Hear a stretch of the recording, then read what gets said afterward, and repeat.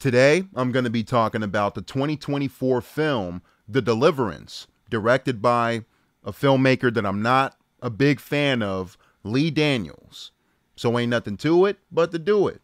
Right off the bat, I hate the main character, Ebony. She's a raging, abusive, alcoholic bitch, and I would give her the Razzie for worst mother in the world. She gets a very strong nomination from me. This is a possession film, and we do have typical possession motifs, if you will. Rotten smell in the basement, check mark. Creepy possessed kid that talks to himself, check mark.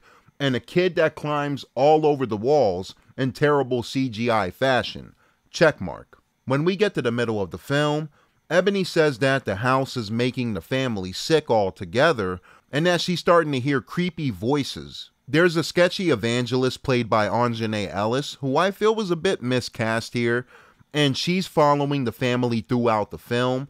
Eventually, Ebony sits down with her at a McDonald's, and the evangelist is going over the previous history of the house and how there was a family that ended up going crazy because of the house and they ended up killing each other. Or the father killed off the family and then killed himself. For some reason, Ebony gets really upset and storms off after the evangelist is telling her the backstory. But you just said that the house was making you feel crazy. You were hearing voices and the family was getting sick.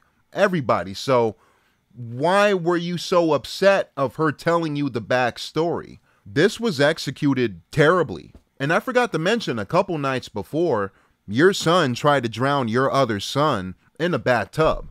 And there was a force that pushed you away from the son. Like, but she's crazy. You storm off.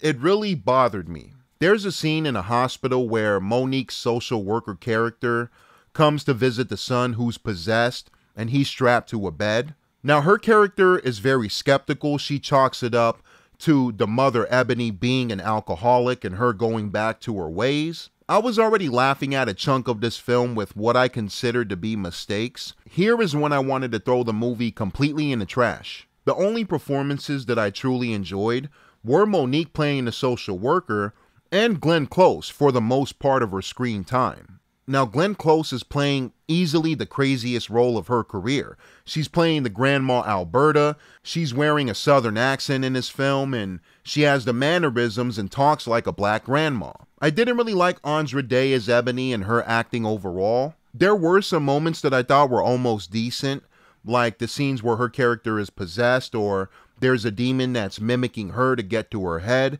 near the finale. There's some of that that I thought almost worked maybe with a better writer, but the overall direction from Lee Daniels, in my opinion, is laughable, awful, horrendous, and a gut busting terrible. The way that he's writing dialogue here in this film is very cringeworthy. For example, the main example, Glenn Close's infamous line near the finale of the film. Cue the clip.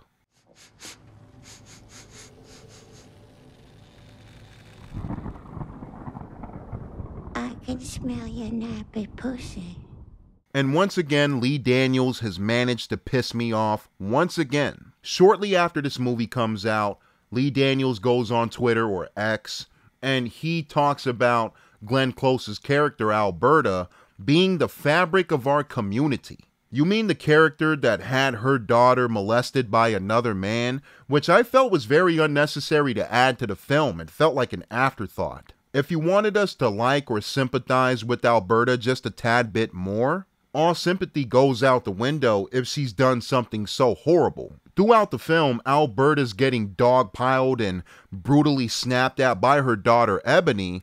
And for the most part, I'm thinking, hey, ease up on your mother. Like, she's not perfect, but she is trying to do her best. But by the ending, I can completely understand why Ebony is pissed off. If Lee Daniels is attempting to shine a positive light on Alberta's character by calling her a fabric of our community, then maybe change the character motive or the backstory of the neglect that she gave to her daughter. It could have easily been, I'm sorry I was a heavy drinker, I missed birthday parties, I missed Christmases, etc. But with the reveal of the neglect near the finale, I hated that we had to go to black trauma and rape as the backstory it is a serious subject, of course, but the way that it's handled in the film is very heavy handed and it does feel like an afterthought to me again at the same time, especially with how over the place this movie is. Lee Daniels is trying to make a goofy possession film, he's trying to make a serious traumatic film, a, a family dysfunctional film, like he usually does, but this time it's possession. I'm going off on a tangent, but this film pissed me off with how horribly executed everything was, minus Mo'Nique's performance and a chunk of Glenn Close's screen time. This was a terrible experience for me due to the very laughable dialogue and the horrible attempts at scaring you when they pop up. The rest of the film does drag on its feet for a majority of its time, so I'm going to give The Deliverance a 2 out of 10. If I were the real people that were inspired by this film, I would be pretty pissed off because I think the representation was grotesque in my opinion, and not in a good way. At the end of the day, it is a fucking movie, so I don't want to sound too emotional. It just pissed me off quite a bit. And that's it, y'all. It's your boy Fro. Did you like this movie more than I did? Comment below. Let me know your thoughts. In the meantime, between time, I'm on to the next review. Thank you for watching. Fro.